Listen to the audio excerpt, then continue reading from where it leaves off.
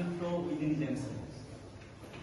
So actually teacher's job and duty responsibility is uh, helping them mm, getting all those uh, keeping all those qualities within themselves.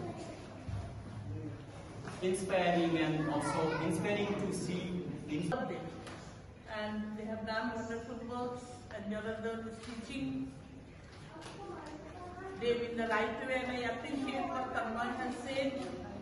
Children, child artists have to remain artists.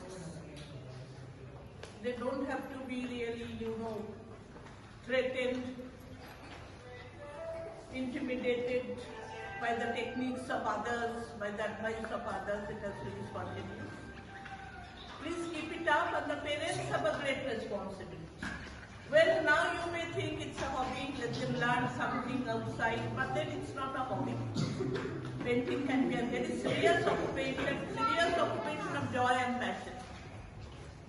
Whether there is market or not, whether people appreciate or not, I think for the child's well-being, for the child's mental joy, mental health, if the child wants to pay, let the child pay. I know a girl, I still remember her, she may be of my age today, but long back she was a pen. She was so fond of painting. And then one day father came when she was painting, father threw away the book, threw away the colors and said, no, exam is there, few days after, no more painting.